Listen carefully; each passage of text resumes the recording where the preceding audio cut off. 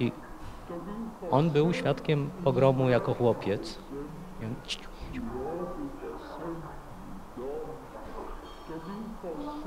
I on- opowiada, że w pewnym momencie tutaj fruwały jakieś banknoty, bo grabiono Żyda ofiarę.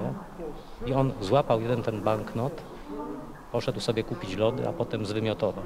Jak po prostu skojarzył całą tą sytuację, jak sobie przypomniał, co się wydarzyło. Ten główny konflikt tego wypierania pogromu polega na tym, że jak wiadomo jest część ludzi, którzy święcie wierzą w teorię spiskową, że to komuniści.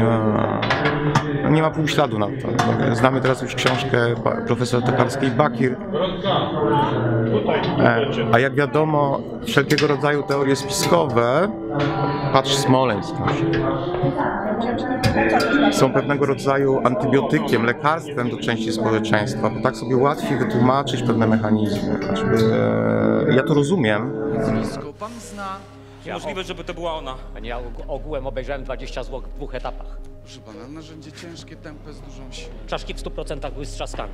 U dwóch były rany postrzałowe, u kilku rany kłute jakimś y, ciężkim, ostrym narzędziem, a, a, a jedna to miała wbitą w szyję sterczącą na zewnątrz długą drzazgę. Drzazgę! Dla naszych pacjentów nie mają łóżek, a teraz jeszcze ci! Tyle ich było! Ile jest ofiar o nieustalonej tożsamości? 17. Co nikt ich nie poznaje? No ja nie wiem, no może są przyjezdni. Albo po prostu nie można ich poznać! Zajmij się lepiej naszą robotą, mało i mamy! Mówię, że jakbyś miała tak roztrzaskaną twarz, to też nikt by cię nie poznał! Bo przecież my mówimy o konkretnym miejscu, mówimy o Kielcach, które jakby tym tematem, y, ten temat został zamknięty jako tabu właśnie w tamtej przestrzeni, tamtego, tamtej, tego miasta. Na szczęście mieliśmy wiele paneli dyskusyjnych zaraz po y, premierze i jeszcze po kilku spektaklach. I, I dokładnie było widać, jakie, jakie są głosy z publiczności. No niektórzy się przełamywali, wreszcie zaczynali mówić o tym, y, że to było tabu. Dnia 24 czerwca na koncercie profesora Aleksandrowa zaczep...